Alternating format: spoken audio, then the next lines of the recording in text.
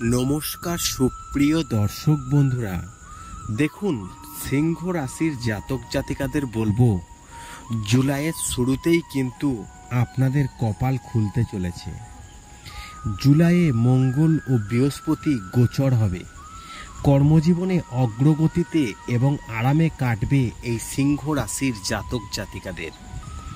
আমি প্রতিটা ভিডিওতে আপনাদেরকে বলে আসছি যে মেন মেন পয়েন্টগুলো শুধুমাত্র আপনাদেরকে জানিয়ে দিই।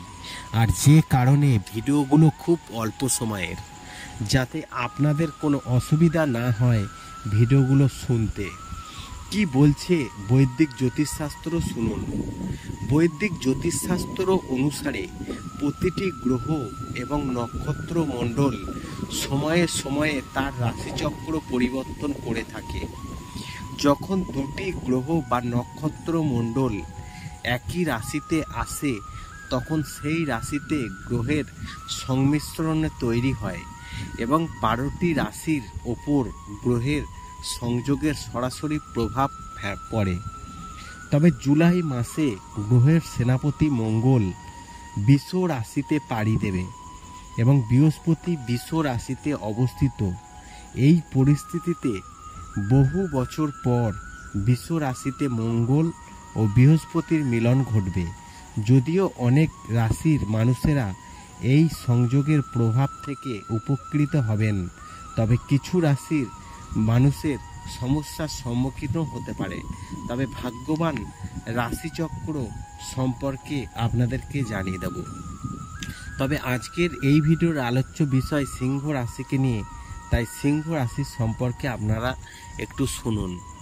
তবে একটি কথা আপনাদেরকে জানিয়ে রাখি, একই রাশির ব্যক্তিদের কিন্তু সবার সমান যায় না। আপনার ভালো সময় যাচ্ছে, অন্যজনার খারাপ সময় যেতে পারে। অন্যজনার হয়তো ভালো সময় যাচ্ছে আপনার খারাপ সময় যেতেই পারে, তাই এটা নিয়ে চিন্তিত হবেন না। মঙ্গল বৃহস্পতির সংযোগে সিংহ রাশির জাতক জাতিকাদের জন্য শুভ হতে চলেছে। এই সময়ের মধ্যে আপনারা কর্মজীবনে অগ্রগতি পেতে পারেন এবং পদোন্নতির অপেক্ষায় থাকা ব্যক্তিরা সুখবর পেতে পারেন। অভিভাবকদের সহযোগিতা কিন্তু আপনারা পাবেন। মঙ্গল ও বৃহস্পতির মিলনে জুলাই মাসটি এই সিংহ রাশির জাতকদের জন্য বরের চেয়ে কম নয়। এই সময়ে আর্থিকভাবে উন্নতি করতে পারেন। ব্যবসায়ীরা কাঙ্ক্ষিত লাভ পেতে পারেন। এই সময়ের মধ্যে তারা বিনিয়োগে ভালো রিটার্ন কিন্তু পেতে পারেন। যারা বেকার যুবক, যুবতী চাকরির পরীক্ষা দিয়ে সফল হতে পারছেন না, তারা জুলাই মাসে কিন্তু ভালো খবর পেতে পারেন।